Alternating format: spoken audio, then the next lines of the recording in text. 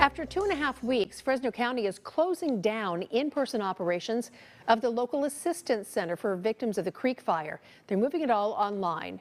20 agencies staff the center at the Clovis Memorial, Clovis Veterans Memorial District, so Creek Fire victims could find all the help they needed in one place.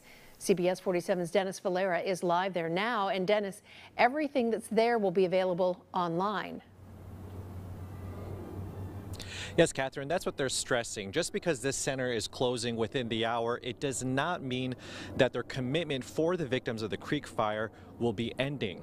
Now, that said, outreach for the services that the center provides, it's going to be even more important now a lot of the services have been extremely helpful. From day one, Fresno County's local assistance center has been helping creek fire victims navigate those next steps. It's heartbreaking. Including Bridget Morgan. Her home is currently unlivable.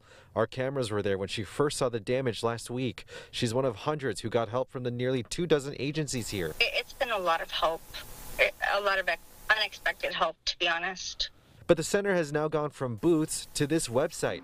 Aurelia Gomez, Deputy Director of Fresno County Social Services Department, says it's so their agencies can get back to normal business operations, and all families have been getting the heads up. Uh, we're doing, of course, public noticing as well. We've noticed all the agencies here, and as people have been coming in through these last couple of weeks, we have been also giving them a heads up. But the virtual setup is a concern for Morgan. She's worried her neighbors may miss out on the help. Some didn't even go in person yet. They really don't have anybody to reach out to besides uh, if they have, their cell phone is the only availability for them to keep in contact with anybody at this point. But Gomez says the county is already working on getting the word out in the mountain communities. We also have information that's paper that we are providing so that they can also pick some of those up hopefully over in the foothill area that will be made available to residents.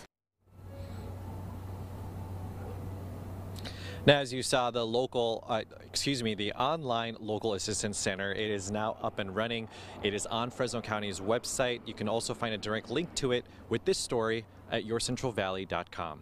Live in Clovis, Dennis Valera, CBS 47 Eyewitness News.